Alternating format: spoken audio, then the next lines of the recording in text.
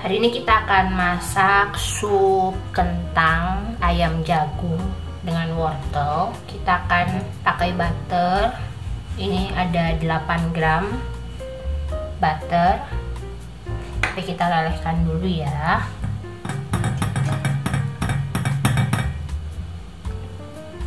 Kita akan tumis 14 gram bawang bombay tumis dulu sampai harum.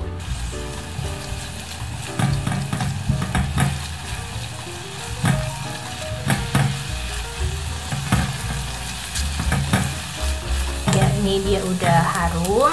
Kita masukkan satu siung bawang putih.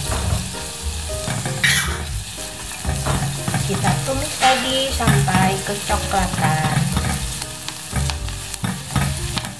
Ini sudah kecoklatan ya. Kita masuk kita masukkan air sebanyak 300 ml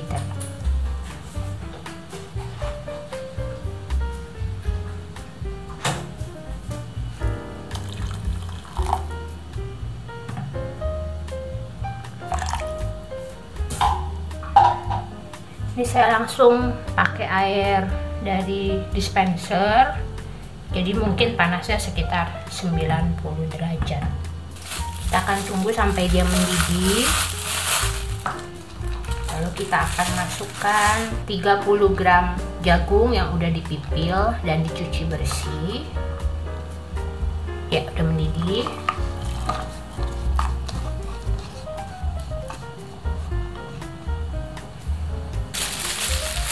Lalu ini ada dada ayam 60 gram.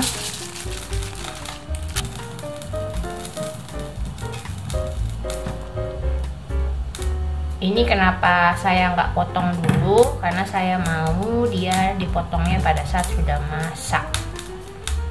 Kalau mau cincang dari awal juga boleh disesuaikan dengan tekstur dari usia anak-anaknya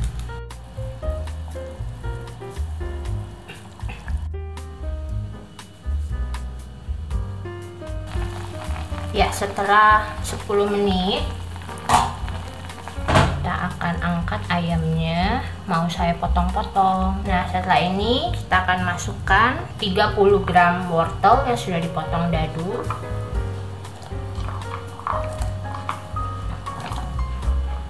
bersama dengan 150 gram kentang yang sudah kita potong dadu jangan lupa dibilas berkali-kali ya bun. Ini biar anak-anak nggak bosen makan nasi terus. Kita bikinin sup kentang. Kita tutup lagi. Pastikan talenannya dipisah ya bun. Dengan talenan yang dipakai untuk bahan-bahan mentah. Kalau pakainya ayam kampung direbusnya harus lebih lama karena dia agak alot ya jadi ini karena saya pakai ayam negeri 10 menit aja direbus dia udah empuk meskipun dia dada ayam.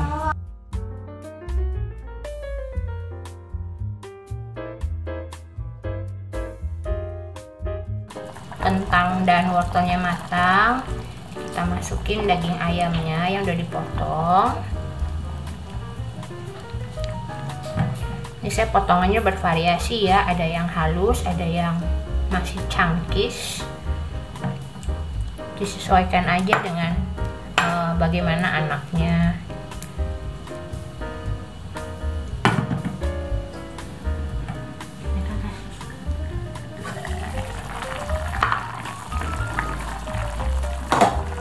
Ya ini sudah 15 menit.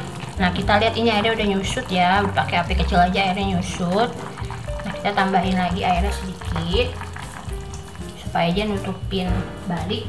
Nah saya kalau masak itu uh, untuk sup nggak pernah pakai api besar. Biasanya api kecil lalu saya tutup supaya rasanya itu nggak tahu kenapa menurut saya lebih enak aja. Ya kalau udah mateng baru kita bumbuin.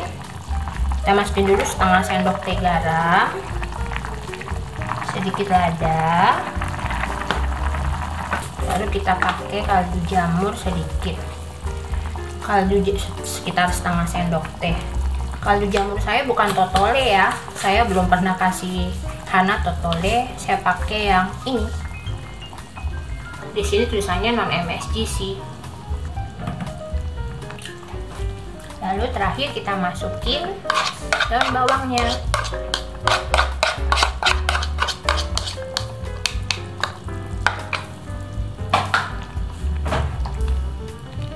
masak sebentar. Jadi deh. Ini kira-kira proses memasaknya 25 menit 27 menit.